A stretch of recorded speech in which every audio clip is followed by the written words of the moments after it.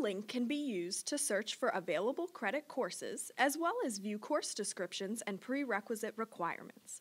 You can browse the courses that are available in the current semester and perform searches narrowed down by location, subject, meeting days and time, or instructor. It is not necessary to log into OwlLink to use the search functions. You can access OwlLink from the Prince George's Community College homepage, www.pgcc.edu. Click OwlLink at the top of the screen. Then, click the blue Credit Students menu. When you become a PGCC student, this is the menu you will use in order to access your student information, such as your class schedule and final grades. Scroll down to the section titled Search for Credit Courses. There are several available search options.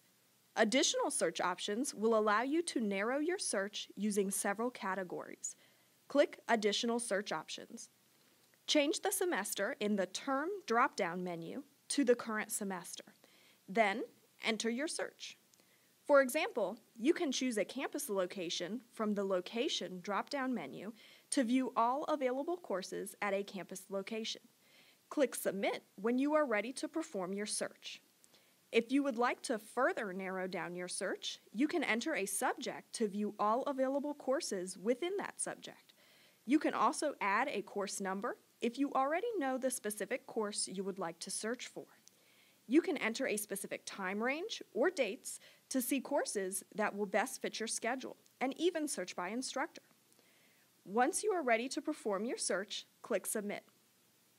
This will bring up all of the results that match your search with real-time information.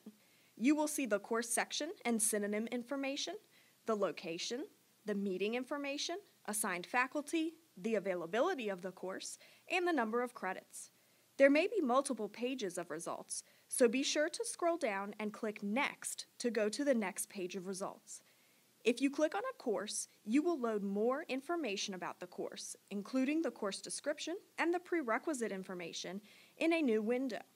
Click Close Window to return to your original search.